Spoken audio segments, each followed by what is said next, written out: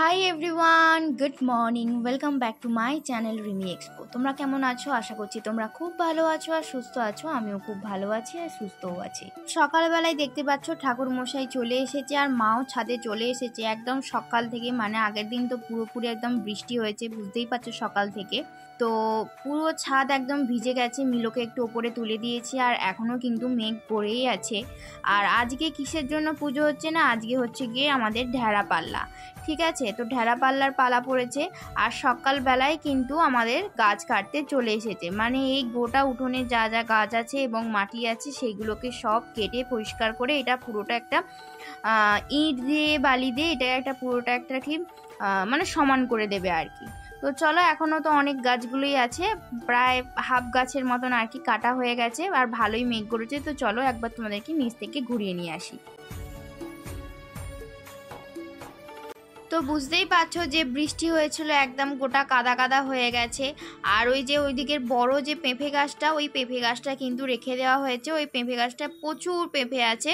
তার জন্য কিন্তু না মানে ওই দিকের যে গাছগুলো আছে, ওইগুলো কাটা হয় না একটা ছোটো লেবু গাছ আছে, ঠিক আছে?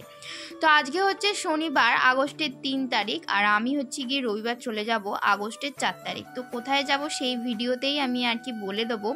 তো আমার তো সমস্ত কিছু লাগেজ আর কি গোছগাছ হয়েই গেছে। তো বুঝতেই পারছ আর এখানে মা হচ্ছে সকালবেলা রান্নাটা করে নিচ্ছে। এখানে আজকে যেহেতু ঢেড়া পাল্লা, আমাদের হচ্ছে সারাদিন নিরামিষ ও শুকনো খাবার। তার জন্য এখানে রুটি আর আলু, পটল, কুমড়ো দিয়ে তরকারি হচ্ছে। এটা হচ্ছে গিয়ে জেঠুরাও খাবে। মানে যেই জেঠুরা গাছ কাটতে এসেছে, ওই জেঠুগুলোও কিন্তু খাবে। ঠিক আছে? তার তার সাথে তো মিষ্টি, শসা এই সমস্ত কিছুই আছে। আর এই তরকারিটা দেখতে এতটাই লোভনীয় লাগছে, কি বলব? নিরামিষ তরকারি খেতে কিন্তু খুবই ভালো লাগে। আম্মা এতটাই কষ্ট পাচ্ছিল যে পাড়ার সবাই বলছিল এবং অনেকেই বলছিল অনেক বড় গুরুজনরা যে আম্মার পায়শ্চিত্ত করে দেওয়া উচিত। কারণ আম্মা এতটাই কষ্ট পাচ্ছিল যে চোখে দেখা যাচ্ছিল না। তো এখন সন্ধে হয়ে গেছে আমার পায়শ্চিত্ত কিন্তু বুধবার দিনকে করে দেওয়া হয়েছে। সেগুলোর ভিডিও আর তোমাদের সাথে শেয়ার করছি না, কারণ আমার ইচ্ছাও করছিল করছিল না। ওই সময়টা এতটাই কষ্টকর। তাও আমি একটুখানি ভিডিও করেছি, যেহেতু আমার দিদি বাইরে থাকে, দিদিরও তো একটা দেখার অধিকার আছে। তো তার জন্য ওকেই শুধুমাত্র আর কি দেখানোর জন্য আর কি ভিডিও করেছি। নাহলে ওই সব জিনিস ভিডিও করতে একদমই ভালো লাগে না, মনটাই চায় না। আর আমার মন তো বুঝতেই পারছ, একটু খারাপ খারাপও লাগছে। আর এখানে এই যে মিলও আছে, ওকেও লাস্টবারের মতন একবার ভালো করে তোমাদের সাথে দেখা করিয়ে দিচ্ছি। কারণ পরের ভিডিওতে হয়তো নাও তোমরা দেখতে পারো, কারণ আমি রবিবার দিনকেই তো চলে যাচ্ছি বললামই। আর আমার হচ্ছে এই যে সুন্দর একটা ছোট্ট ঘর, এটা তো মানে ভীষণ ভালো। আর এটাকে একদম পরিষ্কার করে, পরিষ্কার পরিচ্ছন্ন করে দিয়েছি, আর মাও আমার সাথে হেল্প করেছিল আগের দিনকে।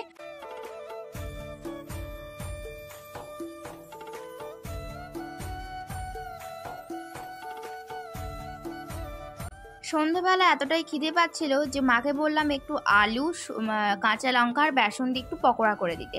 তো মা দেখতেই পাচ্ছ এখানে আলু একদম দিয়ে করে সুন্দর করে দিয়েছে আর তার সাথে একটু সস আর মুড়িও কিন্তু দিয়েছে। আমার এইভাবে খেতে কিন্তু খুবই ভালো লাগে। আর তোমরা এরকম পকোড়া আগে কখনো খেয়েছো কিনা অবশ্যই কিন্তু বলো। এরকম পকোড়া খেতেও কিন্তু খুব ভালো লাগে। তো এখানে আমার সব কিছু একদম গোছানো কমপ্লিট হয়ে গেছে। এখানে দেখতেই পাচ্ছ আমার একদম ট্রলি পুরো প্যাক আপ করে দিয়েছে। আর এটা হচ্ছে শিলেদাস থেকে সেদিনকে আমি জুতো কিনে এনেছিলাম দিদি আসার সময়। মানে দিদি যে যখন এসেছিল তখন ওই দশ দিনের জন্য। তো দিদি, আমি দুজনেই জুতো কিনেছি, দুজনেই সানগ্লাস কিনেছি, সেই দিন তো তোমাদেরকে দেখালামই। আর এখানে বাবা লাস্ট বারের মতন একবার সমস্ত কিছু যা যা ছিল আর কি, সমস্ত কিছু প্যাকিং করে দিচ্ছে, কিছু ডকুমেন্টস ঠিক আছে?